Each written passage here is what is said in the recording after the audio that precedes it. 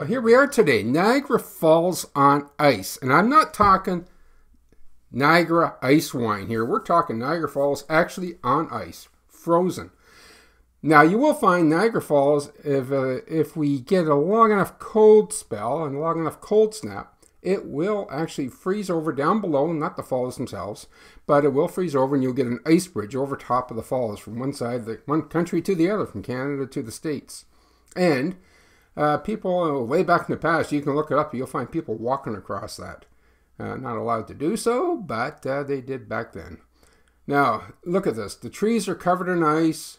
The roads are all wet here because, even though it's a sunny day, the roads are wet. And the roads are wet because of the mist from the falls. You might have seen it there. And that mist will actually rise up when it's cold enough. And as it settles, it will freeze on whatever it touches. Everything here is covered in ice. Some of it's two inches thick. Now, what had happened here is we had a really cold couple of days, a couple of evenings, and this is what happened.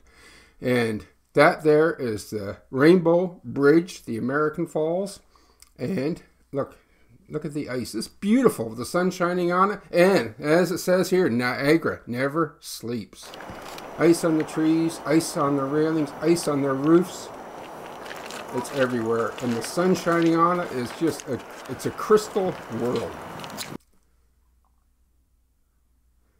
Now there's a flagpole. Now, here we are. There's the Rainbow Bridge.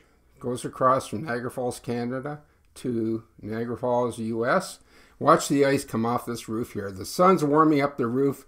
The bottom, underneath the ice, it's, it's thawing out and it's slipping off the roof. And every time we try to get a whole sheet of that flying off the roof, we missed it.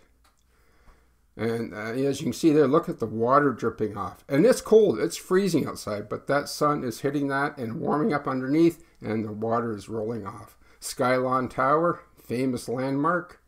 This is inside Table Rock House, the second floor. Underneath here are some shops. And again, there's the Canadian Falls, the Horseshoe Falls. You can see the mist there rising up over top, up into the sky. Depends which way, the, uh, rainbow, Rainbow Bridge. That's where the name came from. And that mist, as you can see there, depends on which way the breeze is blowing, is where it's going to settle. And as you can see, the night before, the day before, this is what happened. Everything is covered in ice. The railings, all that wrought iron railing, the bushes, the trees along the edge of the, uh, the falls. It's a really beautiful thing to see. Wintertime in Niagara Falls. Time of a time that most people never consider visiting here. If you're into some cold weather and you don't mind it, great place to visit. If you're from the south, you're from a warm climate, bundle up and see something totally unique, something different. Do some cross country skiing, ice skating, do whatever you like. Winter sports, that's the name, that's the theme. Now, as you look across the brink of the falls here, that is an amazing place to stand. You can get closer to it when the ice is not there in the summertime. And you, it's, it's virtually you're standing right on top of the falls. Even the light poles, just coated in ice over the Christmas decorations, everything. Here we go again, the American Falls, the small skinny ones, the Bridal Falls. Here we go into the Horseshoe Falls. This is the one you usually see the big pictures of. Safe walking. Concrete barricade between you and the traffic. How about a little Tai Chi?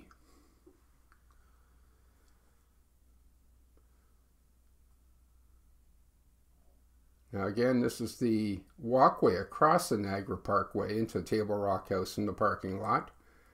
And also from the, uh, the there's a cable car that goes up the uh, hill, up the mountain there alongside of it. You can catch it right there also.